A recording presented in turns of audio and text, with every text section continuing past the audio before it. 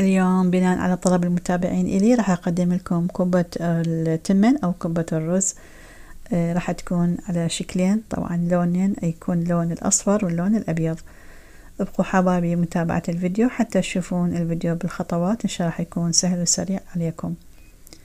نبدأ وياكم حبايبي عندي نوعية التمن اللي أستخدمه موجود عندنا بالليدل. نوعيته كلش ممتازة يشبه طعمه العنبر.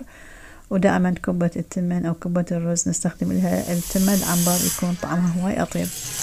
هسه راح أغسله زين وبعدين أنقعه شوية تقريبا ربع ساعة. بعد ذلك راح أضيف وياه آه، ملعقة كبيرة من الملح وأضيف له مي بحيث يغطي تقريبا آه، ثلاثة سنتيم فوق الارتفاع المي يكون. أتركه تقريبا مدة آه، خمسة وعشرين دقيقة على نار هادئة إلى أن يستوي. هسه بهاي يعني الأثناء راح أحضر وياكم الحشوة.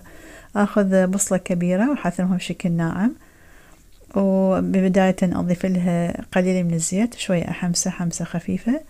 بعد ذلك أضيف له اللحم مثروم أكون غاسلته وبقليل جدا من المي.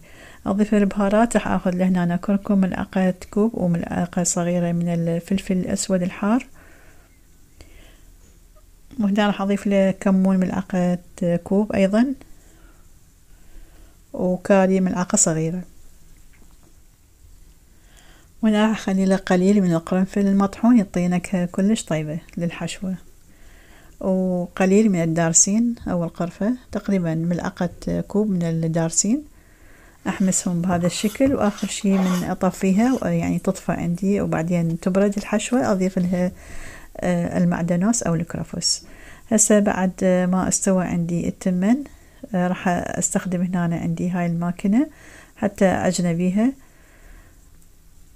أخذ من الوقت تقريبا خمسة وعشرين دقيقة استوى عندي وصار يعني نوعية التمن لازم يكون شوية لين هنا هسه هنا راح آخذ صبغ اللوزين الأصفر يعني نستخدمه للزردة اللون الأصفر حتى ألون بالعجينة راح يكون عندي شكلين لون أبيض ولون أبيض آه، أصفر. راح أعزل اللونين أخلي الأصفر يعني طاسة واحد والأبيض واحد حتى على مود أسوي شكلين.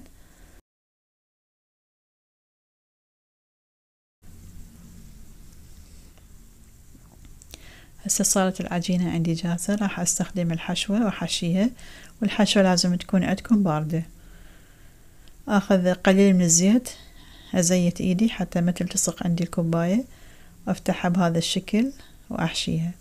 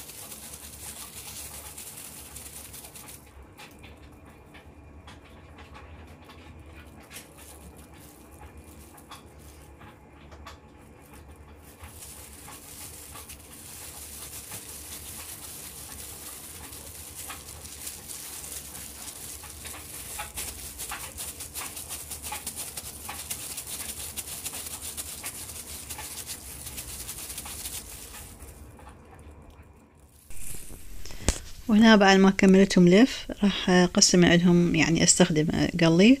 القسم الباقي راح أضمه بالمجمدة. شو كثر ما أحتاج من عندهم أطلع أقليهم.